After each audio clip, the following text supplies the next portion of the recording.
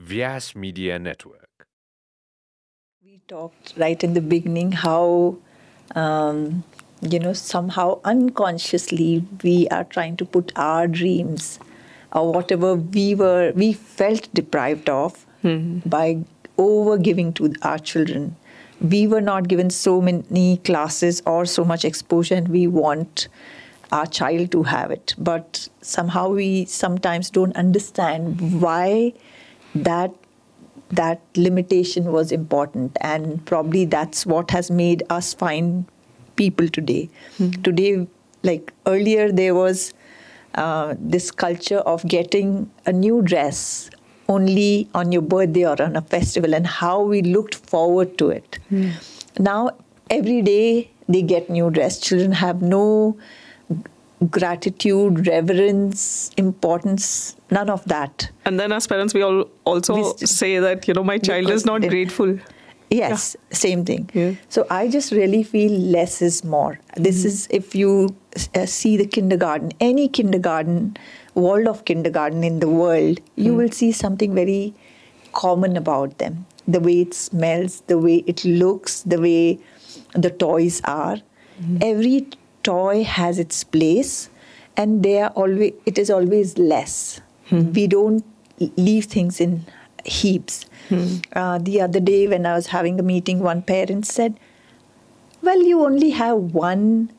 No, we usually keep it in pairs. Only two dogs, hmm. you know, the puppy. How do chil- so many children share? I had no answer. I, I it never even clicked me that, oh, really?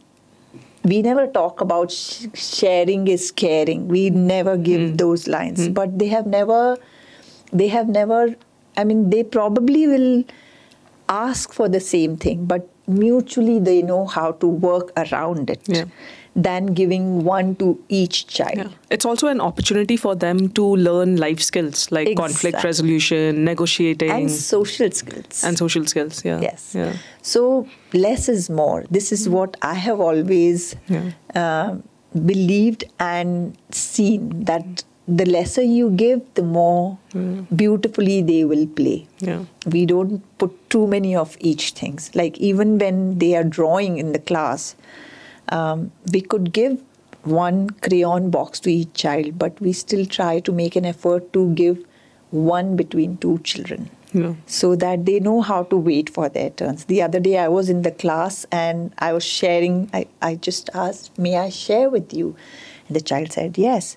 And both of us needed yellow. Mm-hmm. so, very beau- I had already picked up and started working, and this child was waiting. And I said, Are you waiting for something? Yes, I'm waiting for yellow.